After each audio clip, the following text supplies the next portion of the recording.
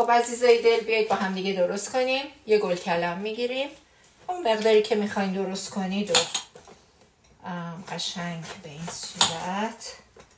اوکی. خب این قبلا هم شستیمش. رو که می‌خواید رو رنده می‌کنید. حالا نه با قسمت خیلی ریز رنده با این قسمتش.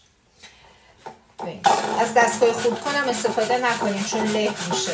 ما می‌خوایم حتما با قسمت درشت رنده باشه که حالت برنج داشته باشه. که رنده می‌کنین گل کلمتون به این صورت میشه.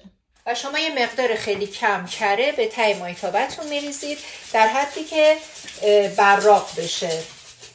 در هم همینقدر همینقدر کافیه. شنگ تمام سطح مایتابه رو باید بگیره. و بعد شما این گل کلمای رنده شده رو میریزیم داخل مایتابه وایسین و همش بزنین.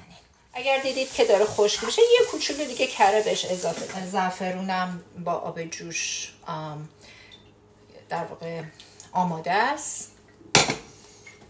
من اینو میریزم توی زعفرون.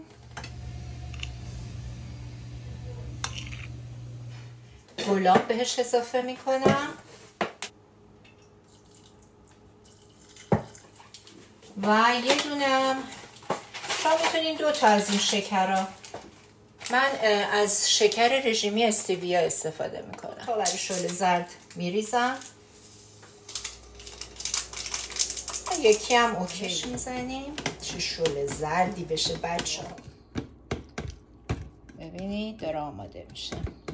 هم شکر بهش زدم شکر رژیمی گلاب و زعفرون. با گل کلم. شل زردمون آماده شد. من ریختم تو این ظرف و شما می‌تونین کمی دارچینم بهش اضافه کنید.